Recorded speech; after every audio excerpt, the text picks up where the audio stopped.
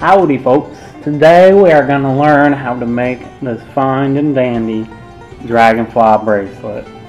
You will need leather, leather cutter, X-Acto knife, edge beveler, a groover, a hole punch, pencil, some vellum or tracing paper, a stylus, paper towels, a hammer, stamping tools, dyes and finish, a swivel knife, some wool daubers, and a snap kit.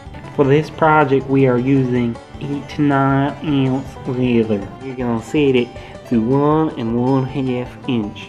Now once we set it, we gotta bring it to the leather and we're gonna cut the strap with the leather. Now make sure you're applying pressure with your left hand towards the strap cutter as you pull it through the leather. And I mark the length I want with my pencil. We have to cut it to length. This is the edge bevel. Just hold the leather down and just go along the edge.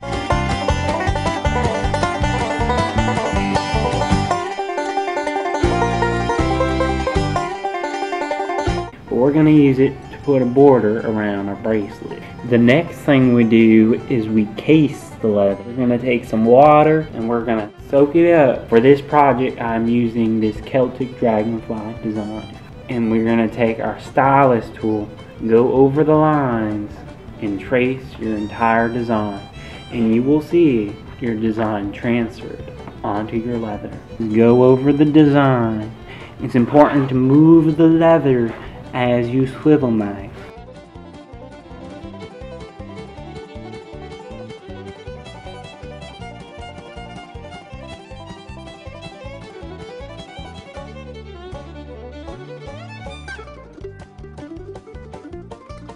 And this is a stamping tool that will give us a nice lifted edge. And where we swivel knife, we are going to bevel. Now we got our background tool. And as it says we use it for the background. As you can see this will bring your design to life.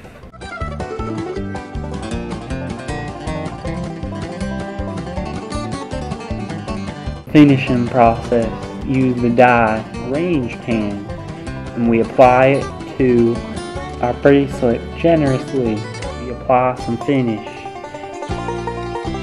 now we're going to get the hole where the snaps are going to go. And then we're going to apply our highlight color stain. This is my favorite part of the project. We are going to put our final coat of finish which is going to seal the project. Now we apply the snaps. So you get your snap kit, just do as I do. Now it's all finished Wear anywhere, anytime, any day, any hour, in the shower. You just show that bracelet off and you tell all your friends.